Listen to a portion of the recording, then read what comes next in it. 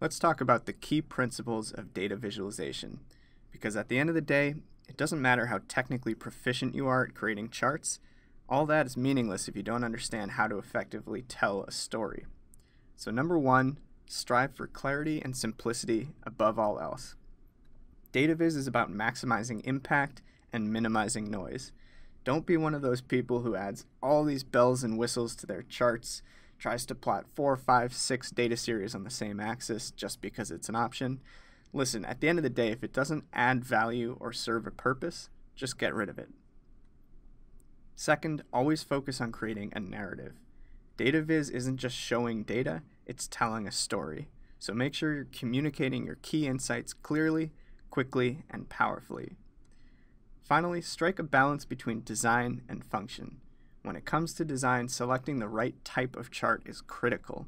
And always remember that beautiful is good, functional is better, and both is ideal.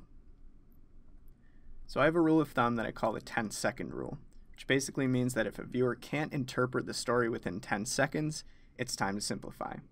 So what I'm about to do is show you a chart on the screen with a 10 second timer. At the end of those 10 seconds, I want you to pause the video and see if you can explain exactly what story that chart was intended to tell. Ready? Go.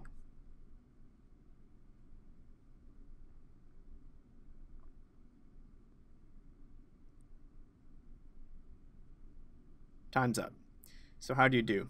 You may have noticed that we're plotting average temperatures here by city, by month, and that certain cities follow one pattern while others follow another but realistically, 10 seconds is not a lot of time to understand and digest that information. So now what I'm going to do is show you a different visualization built from the exact same data set and restart the timer. Ready? Let's try again.